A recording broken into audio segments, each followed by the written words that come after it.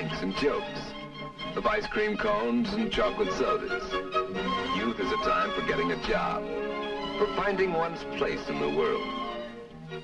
But sometimes in these troubled days, the very thoughtlessness of youth has led to a living nightmare. Addiction to drugs.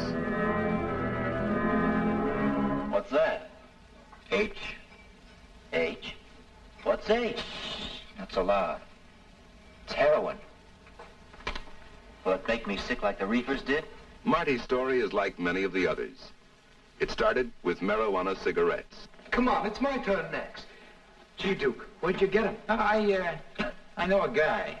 Three for a buck. Let me try. He was determined to be one of the gang if it killed him.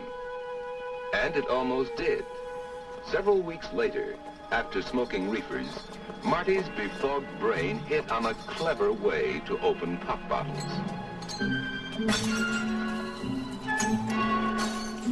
Later, Stan went to the hospital for swallowing broken glass. Marty badly cut the inside of his mouth, though he didn't even know it at the time.